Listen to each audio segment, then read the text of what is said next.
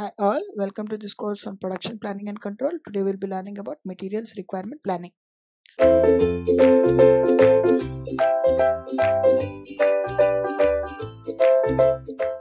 What is material requirement planning?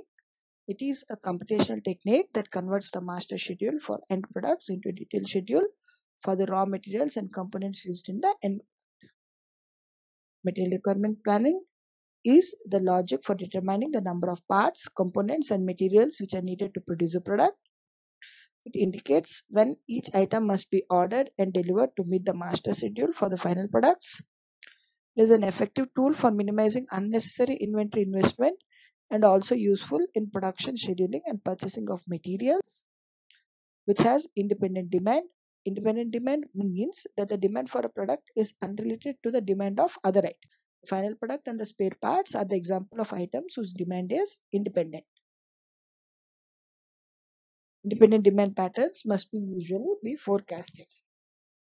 Similarly, dependent demand means the demand for the item is directly related to the demand for some other item, usually a final product. This dependency usually derives from the fact that the item is a component of the other product not only the component parts but also raw materials and sub-assemblies are the example of items subjected to dependent demand. Hence, MRP is the appropriate technique for determining the quantities of dependent demand items. These items consist of the inventory of manufacturing, raw materials, work in pro process, component parts, and sub-assemblies. Hence, MRP is a powerful technique in the planning and control of manufacturing inventories.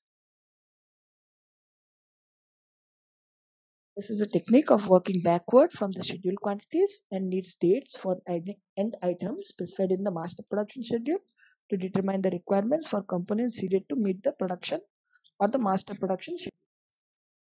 Hence, material requirement planning is a technique for determining the quantity and timing for the acquisition of dependent demand items needed to satisfy the master production schedule requirements. Thank you.